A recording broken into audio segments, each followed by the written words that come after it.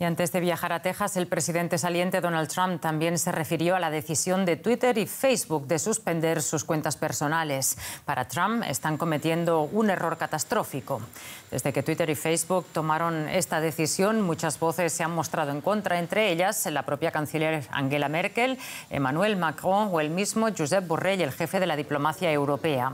Y es que desde Bruselas preocupa que sea una empresa privada la que decida de forma unilateral cuáles son los límites de la libertad de expresión.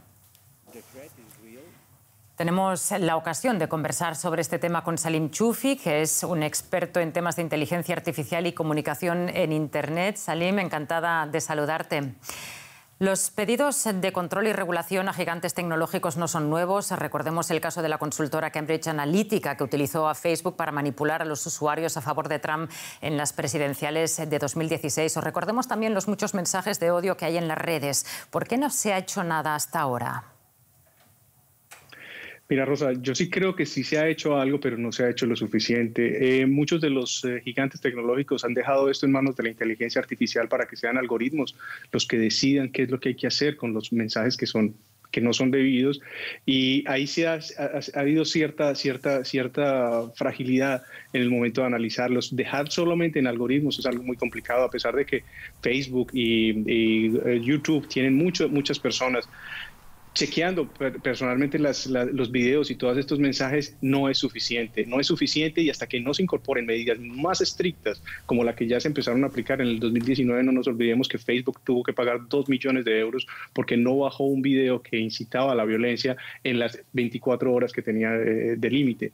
Esas, esas medidas tienen que ser mucho más eh, fuertes, mucho más extendidas a, muchos más ambientes y definitivamente tienen que controlarse los, los perfiles que mayor tienen influencia en Internet. El caso de, Donald Trump con 88 millones de seguidores.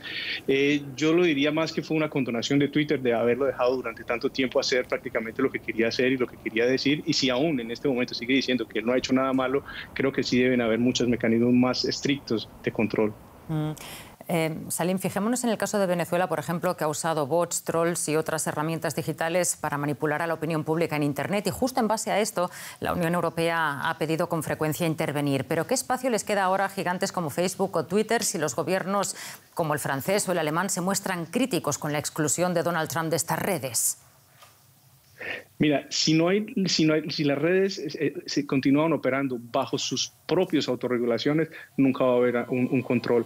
Las, las, condiciones deben ser claras por parte de los gobiernos y eso en este momento no existe. Cada país tiene sus, o en cada segmento del, del, del, de continentes tiene sus diferentes reglas y eso no van a permitir que, sea, que haya una unanimidad dentro de los, dentro de los eh, grandes eh, monopolios internacionales de, de comunicación. Donald Trump, eh, Twitter acaba de perder su principal producto, perdió a Donald Trump. Donald Trump era un producto para Twitter con el que estaba con el que eh, Twitter estaba haciendo dinero. Cada vez que, eh, Donald Trump tuiteaba, venía masiva información a, la, a, la, red y con esa masiva información y ese masivo eh, contacto de usuarios con la red, ahí es donde vende Twitter. Es decir, no podemos dejar las condiciones de regulación dentro de las plataformas. Las plataformas deben ser reguladas por los gobiernos a cierta manera, pero en eso también las, los gobiernos también tienen miedo de meterse en muy, muy, muy, muy a fondo porque las legislaciones no, los, no, les permiten, no les permiten hacer lo que ellos quisieran. Necesario que haya una unanimidad en la regulación de, estas, plataformas, que en este momento no existe. Mm. Otra cuestión que surge es de qué sirve este tipo de control cuando siempre puede surgir una alternativa como ocurrió con la red Parler, que bueno, ahora ha sido expulsado de grandes plataformas de Internet, pero si no es Parler será otra. Tienes toda la razón, eh, Rosa. dentro, dentro de dos semanas va a aparecer una nueva porque va a estar soportada y financiada por los organismos de, o por, las, por los eh, eh, ultraderechistas o por quien sea de, la corriente que sea. Pero sí, es, sí van a suceder. No van a haber controles que vayan a limitar. En Internet no hay un control que limite totalitariamente. Eso es que hay. Muchísimas gracias, Salim Chufi, por esta entrevista. Con gusto.